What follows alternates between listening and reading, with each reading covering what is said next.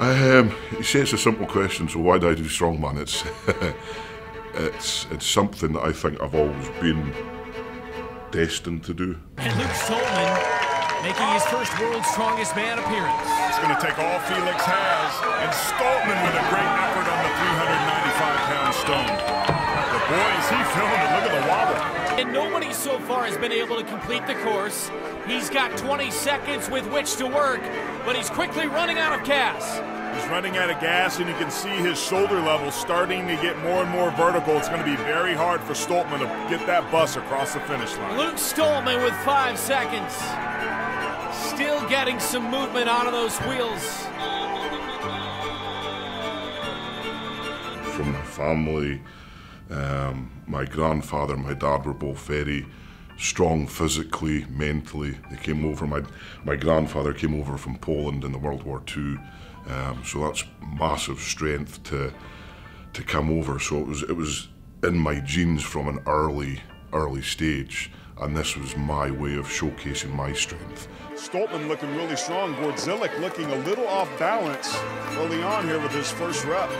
Stoltman moving like a machine here in the overhead press, and he has already lapped Gordzik.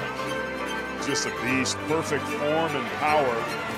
Gordzik looked like he was gassed a little bit this summer heat in Florida getting to him, but Stoltman just beautifully even form, rocks it out. Look at that, Brent. Nine reps. On the beach in Bradenton with the ocean off in the distance. Nine for Stoltman. Gordzik unable to lock out his fifth.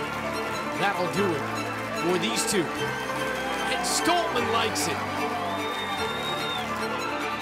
Kearney starting to take his time here, picking up the stone. Remember, there is a 20-second time limit once that stone hits your side of the court to get it back up over the bar.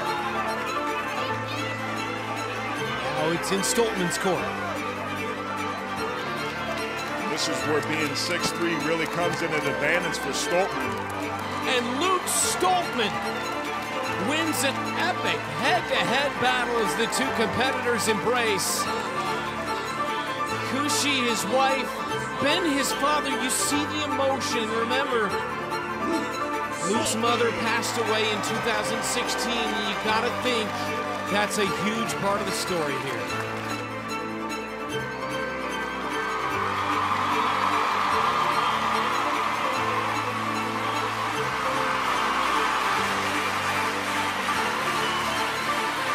All I want to do is be strong with cars, um, have big biceps, big chest, you know, all the all the good stuff. And um, I think it was just a natural progression for me to, to kind of go into the sport of strongman. Thanks for tuning in to World's Strongest Man on YouTube. Make sure you like and subscribe so you can catch all the up-to-date information and stay tuned on how strong and pretty I am, obviously. Don't miss it.